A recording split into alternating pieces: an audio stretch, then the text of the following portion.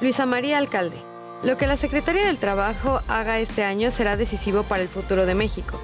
De su éxito dependen el programa del empleo para jóvenes y la política laboral del presidente para atacar la pobreza y pacificar al país. En 2018 impulsó un aumento histórico al salario mínimo y a sus 31 años es una de las 100 líderes mundiales del futuro según la política.